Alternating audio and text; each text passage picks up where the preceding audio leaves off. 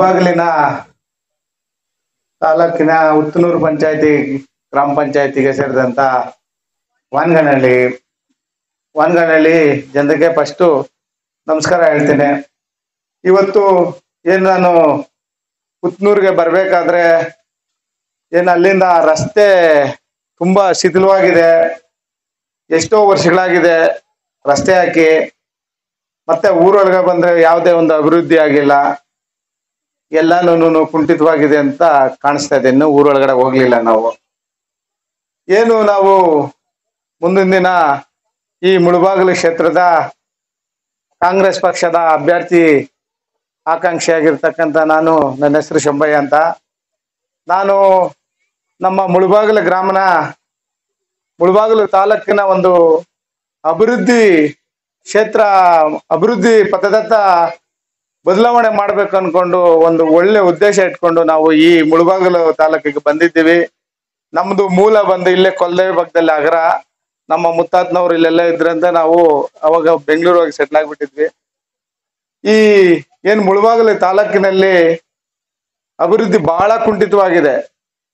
ಈ ಮುಳುಬಾಗ್ಲು ಸುಮಾರು ಎರಡು ಅವರ್ ಅಲ್ಲಿ ಬೆಂಗಳೂರು ಸೇರ್ಪ, ಸೇರ್, ನಮ್ಗೆ ಎರಡು ಅವರ್ ಬೇಕಾಗುತ್ತೆ. ಇದು ಸುಮಾರು ಒಂದು ನೂರು ಕಿಲೋಮೀಟರ್ ಇದೆ ಬೆಂಗಳೂರಿಗೆ. ಈ ಬೆಂಗಳೂರು ನಗರಕ್ಕೆ ಹೊಂದಿಕೊಂಡಿರ್ತಕ್ಕಂತ ತಾಲೂಕು ಏನು ಅಭಿವೃದ್ಧಿ ಹೊಂದಿಲ್ಲ ಅಂದ್ರೆ ಇದು ಎಷ್ಟು ನಮ್ಮ ಇಲ್ಲಿ ಕ್ಷೇತ್ರದಲ್ಲಿ ಇರ್ತಕ್ಕಂತ ಏನು ಯಾರೇ ಒಂದು ಚುನಾಯಿತ ಪ್ರತಿನಿಧಿಗಳು ಯಾವ ರೀತಿ ಅಭಿವೃದ್ಧಿನ ಮಾಡ್ತಾ ಇದ್ದಾರೆ ಈ ಮುಳಬಾಗಿಲು ಕ್ಷೇತ್ರ ಅಂತ ಗೊತ್ತಾಗುತ್ತೆ. ಎಲ್ಲ ಮೂಲಭೂತ ಸೌಕರ್ಯಗಳಿಂದ ಎಲ್ಲರೂ ವಂಚಿತರಾಗಿದ್ದಾರೆ. ಕರೆಕ್ಟ್ ಆಗಿ ಕರೆಂಟ್ ಇಲ್ಲ.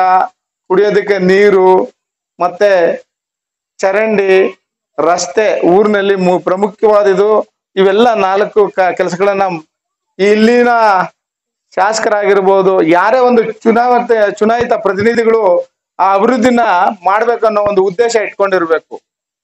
ಯಾರೇ ಆಗ್ಲಿ, ನಾವು ಇವತ್ತು ನಮ್ಮ ಗ್ರಾಮ ಪಂಚಾಯತಿ ಸದಸ್ಯರಾದಂತ ರಮೇಶ್ ಅಣ್ಣವರು ನಮ್ಮ ಗ್ರಾಮಕ್ಕೆ ಒಂದ್ಸರಿ ಬಂದು ಭೇಟಿ ಕೊಡ್ಬೇಕು. ನಮ್ಮ ಗ್ರಾಮದಲ್ಲಿ ದೇವಸ್ಥಾನ ಒಂದು ಸ್ವಲ್ಪ ಶಿಥಿಲವಾಗಿದೆ. ಮತ್ತೆ ನಮ್ಮ ಗ್ರಾಮದಲ್ಲಿ ಬಂದು ನೀವೊಂದು ಇದು ಮಾಡಬೇಕು, ಕಾರ್ಯಕ್ರಮಕ್ಕೆ ಬರಬೇಕು ಅಂತ ಕೇಳ್ಕೊಂಡಾಗ ನಾವು ಆಯ್ತು ಬರ್ತೀವಿ ಲಾಸ್ಟ್ ವೀಕೆ ಬರಬೇಕಾಗಿತ್ತು. ಸ್ವಲ್ಪ ಕಾರಣಾಂತರಗಳಿಂದ ಬಂದಿಲ್ಲ. ಇವತ್ತು ಬಂದಿದ್ದೀರಿ. ನಿಮ್ಮ ಗ್ರಾಮದಲ್ಲಿ ಏನೇ ಒಂದು ಸಮಸ್ಯೆ ಇದ್ರು ಅದಕ್ಕೆ ಸ್ಪಂದಿಸಿ ಮುಂದಿನ ದಿನ ನಾನು ನಿಮ್ಮನ್ನ, ನಿಮ್ಮ ಗ್ರಾಮನ ಅಭಿವೃದ್ಧಿ ಕಡೆ ತರ್ತೀನಿ, ಕೊಂಡೊಯ್ತೀನಿ ಅಂತ ಈ ಸಂದರ್ಭದಲ್ಲಿ ನಾನು ಹೇಳ್ತೇನೆ ಅದೇ ರೀತಿ ನಮ್ಮ ಏನು ವಾನಮಂಗಲ ಗ್ರಾಮದ ಯುವಕರು, ವಾಣಿಗಾನಹಳ್ಳಿ ಗ್ರಾಮದ ಯುವಕರು ಮತ್ತೆ ಹಿರಿಯರು, ನಮ್ಮ ಅಕ್ಕ ತಂಗಿಯರು ತಾಯಂದಿರು ಎಲ್ಲರೂ ಬಂದಿದ್ದಾರೆ. ಅವರಿಗೆ ಒಂದು ಯಾಕೆ ಒಂದು ಊರಿಗೆ ಹೋದ್ಮೇಲೆ ಒಂದು ದೇವಸ್ಥಾನಕ್ಕೆ ಹೋಗ್ತಾ ಇದೀವಿ ಅವ್ರಿಗೇನೋ ಒಂದು ಕಿರುಕಾಣಿಕೆ ಕೊಡೋಣ ಅನ್ಬಿಟ್ಟು ಇವತ್ತು ಒಂದು ಸೀರೆ ಹಂಚೋ ಒಂದು ಕಾರ್ಯಕ್ರಮವನ್ನ ಇಟ್ಕೊಳ್ಳಿ ಅಣ್ಣ ಅಂತ ಹೇಳಿದೆ. ಒಂದ್ ಇನ್ನೂರ್ ಮುನ್ನೂರು ಜನಕ್ಕೆ ಒಂದು ಸೀರೆ ಹಂಚೋ ಕಾರ್ಯಕ್ರಮ ಇಟ್ಕೊಳ್ಳಿ.